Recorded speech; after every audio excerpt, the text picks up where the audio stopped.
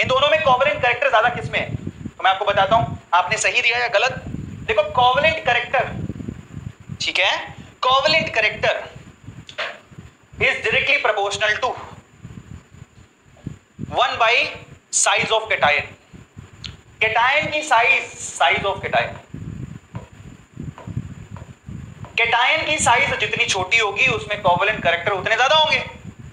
Cation की size जितनी कम होगी, उसमें कोवलेंट करेक्टर उतने ज़्यादा होंगे। अब कंपैरिजन करो। ये तो छोड़ दो, ये एनायन है। सेम है एनायन कंपैरिजन किसमें करोगे? बीई प्लस टू में और ए प्लस टू में। इन दोनों में पहले साइज़ की ऑर्डर बताओ। साइज़ किसकी साइज़ छोटी है? किसकी साइज़ बड़ी है? उसकी साइज़ छोटी है इसकी साइज़ बड़ी है। क्यों? देखो साइज़ बहुत बड़ी है इसकी। बैरियम की साइज़ बरीलियम से ज़्यादा होती है। ये साइज़ का ऑर्डर है। तो जिसकी साइज़ छोटी उसमें कोवलेंट करेक्टर ज़्यादा होंगे। तो बेसिकली यहाँ पर कोवलेंट करेक्टर किसमें ज़्यादा होंगे? पीई प्लस टू इतना पढ़ाने के बाद भी तुम लोग नलायकों गलत आंसर देते हो। तो इसका आंसर क्या बनेगा? P E C L two